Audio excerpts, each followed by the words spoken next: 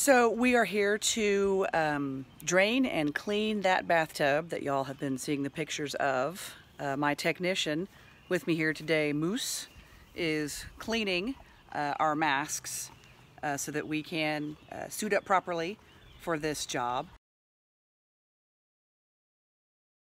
There we go. Oh, it's still. Oh, I can't find it.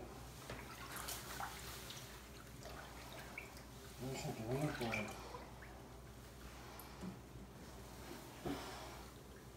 not over here. Gotta be in there somewhere. Found it. Okay, now just keep your, keep your hand right there.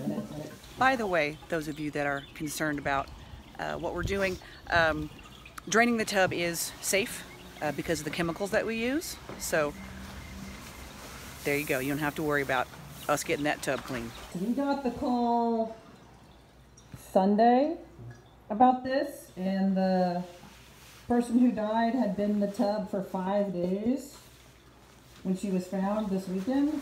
And we're just now cleaning this on Wednesday, so yes. This bathtub has been like this for about a week.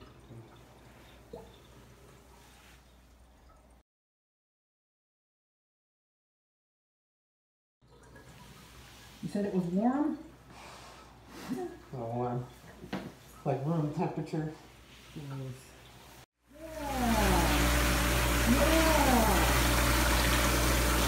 Though.